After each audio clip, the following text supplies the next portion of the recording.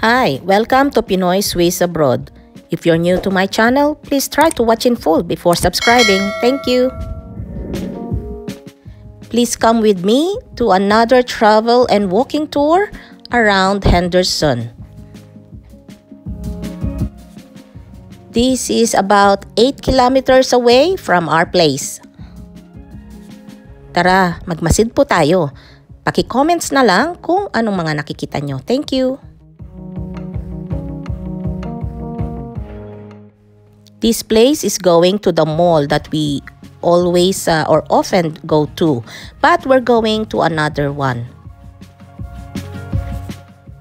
Nakikita nyo na ba? Marami po sa inyo nakakakilala or nakakaalam ng Kmart.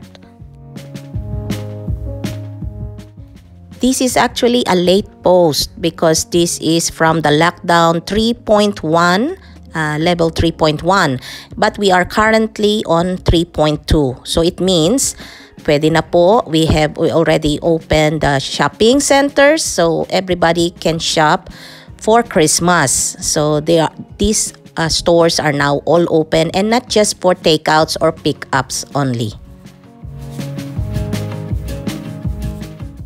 As you can see the parking lot is empty So let's go for a little walk just across this shopping center.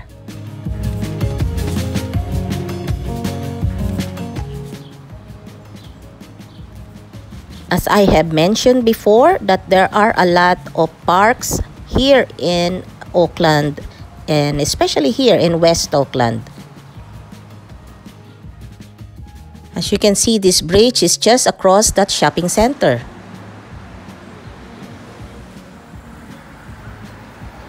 Let's continue our walk. And just across the street, you can see the mini playground. And this is just another bridge, but it's uh, a bit higher than the other one.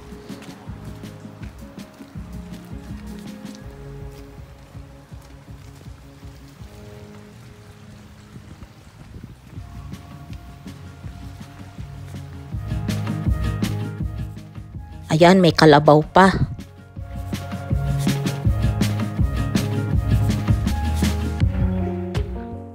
And this family of ducks are just chilling around.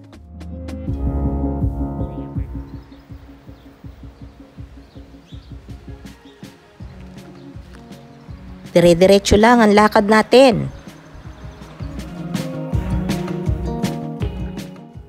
Ang laki po ng punong ito, di ba po? It's a giant tree. Napagod na sa kalalakad so we have to go home now. And this is another road, another way to go home. Sama lang po kayo sa amin. Just look ahead, we have been to this park as per my previous video. As well as on this right side.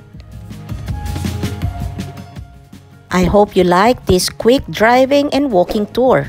Please don't forget to like and subscribe. Maraming salamat po.